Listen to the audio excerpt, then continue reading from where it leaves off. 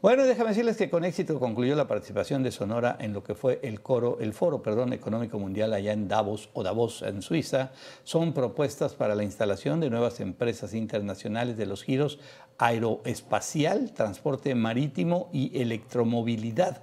De esta manera concluyó ya satisfactoriamente la intervención de Sonora en este Foro Económico de Davos que pues estuvo presente allá el gobernador Durazo, pues llevando la propuesta, ¿no? Y llevando pues a Sonora en su escenario de energías limpias y de lo que está ofreciendo para este tipo de negocios y sobre todo pues para traer esas inversiones. Fíjate que la ventaja que ya, ya, ya, hay un plan establecido que es el plan Sonora, ¿no? Que hay que reconocerlo. Acuérdate que al principio del sexenio el presidente era reacio a las energías limpias. Totalmente. Seguía con los, con los combustibles fósiles con muy contaminantes, muy caros y poco a poco lo han hecho que vaya cambiando. Y de hecho creo que Sonora empezó a dar la pauta con la granja solar que está ahí en Puerto Peñasco, que es inmensa, la planta solar más grande de Latinoamérica. Y ahora con la, con la planta de liquefacción que se está armando allá por, por Puerto Libertad. O sea, está muy atractivo. Y luego Guaymas se va a modernizar como punto de altura y de carga y descarga entonces está Sonora agarrando una eh, muy interesante para inversiones. Ojalá. ojalá. Claro. No, yo insisto, y te lo decía el viernes pasado también, tenemos una materia prima que se llama sol y que somos así, la envidia del mundo entero. ¿Por qué? Pues porque tenemos eso. Y además reconocido, mira, mano de obra sonorense reconocidísima. Sí, sí, desde hace, desde hace más de 30 años que es cuando llegó la Ford. El ambiente laboral de primera.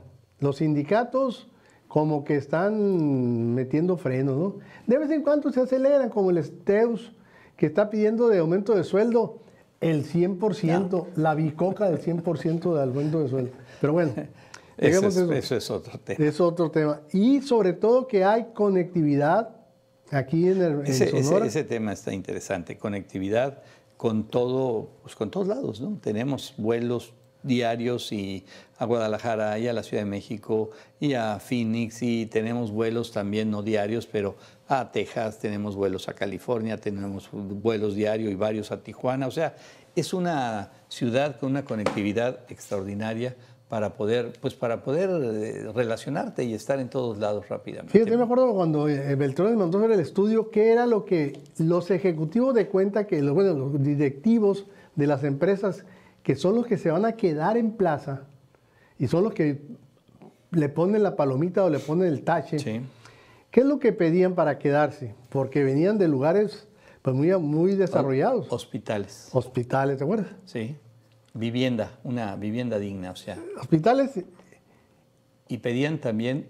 Este, educación. Educación. Que, hubiera universidades de nivel. De buen nivel. De buen nivel. ¿Y, la última? Conectividad. Que pudieran salir, en, que hubiera vuelos sobre todo las partes principales. En este caso es Ciudad de México y Estados Unidos y Hermosillo lo tiene. Y te falta una, acuérdate campos de golf. Ah, el golf, sí, que hubiera campo de golf. Increíble, increíble. Sí, cierto, pidieron campo de golf. Que hubiera así donde poder tener ellos un entre... Digo, estamos hablando de los directivos de las grandes empresas. Sí, cierto, nos faltaban los campos de golf. Sí, que lo pidieron como requisito, ¿no? Pues, pues ¿Tienen o no tienen campo de golf? Ajá. ¿Hay campo de golf? No. Sí, ah, bueno, perfecto. O sea, no, pues el crecimiento de Tucson, ¿cuántos campos de golf tiene Tucson? ¿200? No, no, sé, no sé, no, tengo idea. Pero sí, sí, si es una ciudad mediana, ni siquiera.